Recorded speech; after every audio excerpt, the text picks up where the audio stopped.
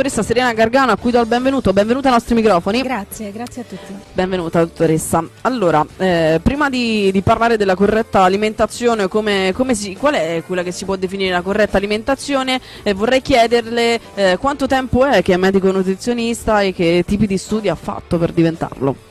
Allora, io dal 2000 che mi sono laureata in medicina, ho poi fatto una specializzazione in medicina interna mh, mm, e dopo 5 anni di specializzazione ho fatto un master di dietologia e nutrizione e da insomma anni, i primi anni del 2000 che comunque lavoro come mm, dietologo nutrizionista. Secondo lei mangiare la pasta a colazione eh, si può fare o non si deve fare? Ma diciamo che il principio su cui si basa questo tipo di dieta non è proprio campato in aria, eh, però insomma quindi in un certo anche, senso ci potrebbe stare. In un certo senso sì, ci potrebbe anche stare, però ehm, diciamo che bisogna avere anche il coraggio di mangiare la pasta a colazione, questo poi dipende dalle persone e più che altro per quanto tempo poi si resiste a fare, una, a fare... un tipo di dieta che non è quella che, che insomma ci appartiene di più come però comunque questione di abitudine non è una cosa pretta, proprio, proprio, sbagliata, insomma, da, da ah, Il concetto di mangiare il carboidrato a, a, colazione è un concetto mm, tutto sommato non, non, sbagliato, lo dice anche la dieta mediterranea, lo dice anche la cosiddetta piramide alimentari, nel senso che il carboidrato a colazione dà energia, quindi tutto sommato va bene per affrontare la giornata, va bene per, eh, perché poi si ha il tempo di consumarcelo questo, questo carboidrato, quindi non si assimila così come se lo mangiamo mangiassimo la sera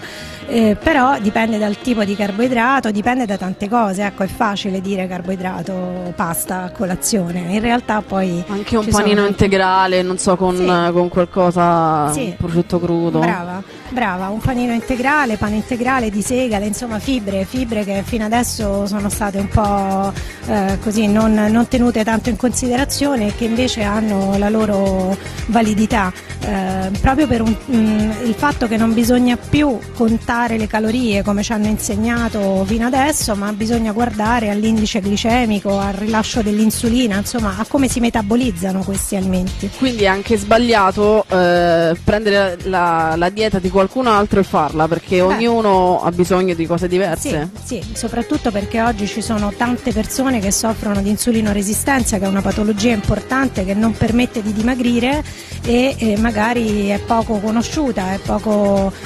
eh, insomma, non, non, non, tutti ne tengono conto e questo non ci permette di mangiare tutti la stessa cosa, anzi eh, a seconda della patologia di cui si soffre o comunque della tendenza che si ha eh, si deve avere un'alimentazione più eh, precisa, ecco perché le diete social eh, lasciano un po' il tempo che trovano, o meglio, alcune sono fatte anche bene, ma altre non tanto le diete social, ma quello che si trova un po' su Facebook, questi questi improvvisati che vendono bibitoni miracolosi 7 kg in 7 giorni, insomma io ne starei alla larga. Per quanto riguarda la dieta mediterranea, è eh, sempre stata la, st- la, stessa di un tempo oppure nel tempo appunto è cambiata in qualche modo? No, oggi, oggi ci sono tanti studi che hanno sì validato i principi base, però insomma con una rivisitazione, quella appunto come dicevamo prima di inserire cibi integrali, quindi il, il pane e la pasta così come ce l'hanno dati a noi da piccoli piccoli oggi non, non vanno più bene eh, perché sono più raffinati questi cereali, quindi fanno più male e da qui si spiega anche molto di questi celiaci che adesso sono molto più frequenti di quanto non lo fossero prima, proprio perché le farine sono lavorate, sono raffinate, quindi il pane che arriva nelle nostre tavole non è lo stesso di, di prima.